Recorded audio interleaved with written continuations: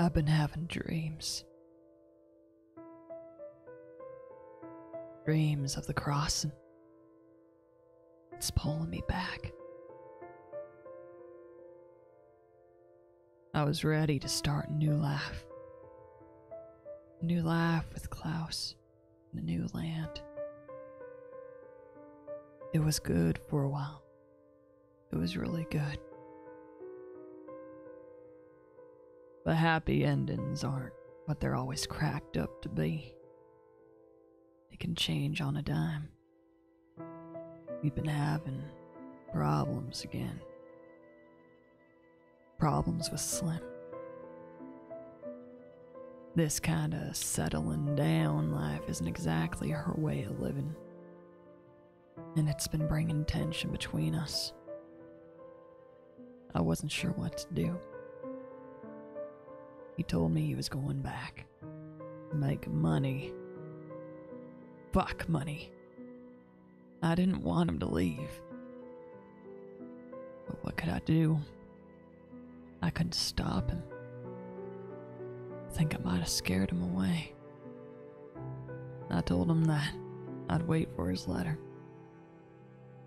So I did. The days passed. The weeks passed.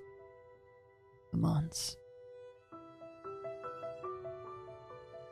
I never got a letter, and he never came back.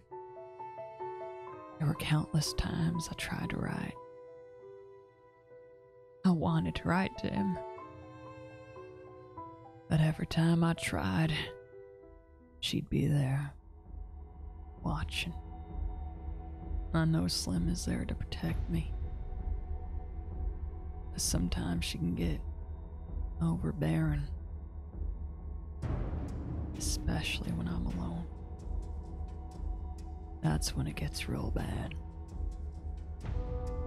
Did we drive him away? Riley. If he can't handle us, he should leave. Just shows where his priorities lie, and that's money. Not you. You see, I never leave you, Riley. You're stuck with me. And I'll take care of you. I'm not so sure anymore. What's not to be sure about? Life is so uncertain. It always will be. It never goes the way we want it to go. But that's the fun of it. What's life if there's no chaos? If he wants to write back, he'll write back. So put that pen down and wait. Truth is, I don't do so well on my own. I get worse. And being out here alone, without him, without my family, it was tearing me apart. I couldn't tell you how many times I just kept staring out that window, watching. Watching seeds blowing in the wind, almost like they're beckoning me to come outside. So I did. I got a breath of fresh air. And I looked down and I saw a dandelion by the doorsteps. When I went down to pick it up, I I saw a letter underneath the porch. It's been sitting there God knows how long. And it was from Klaus.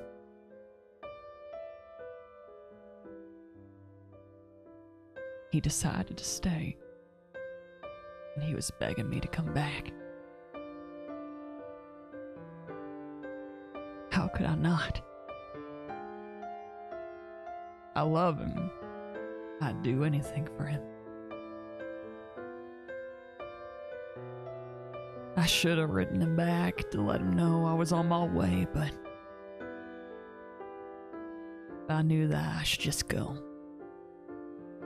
I wasn't even thinking. I grabbed what I could and I left. I left to go back home.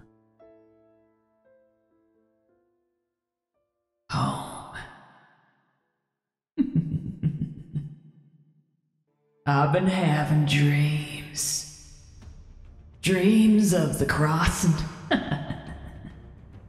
it's pulling me back.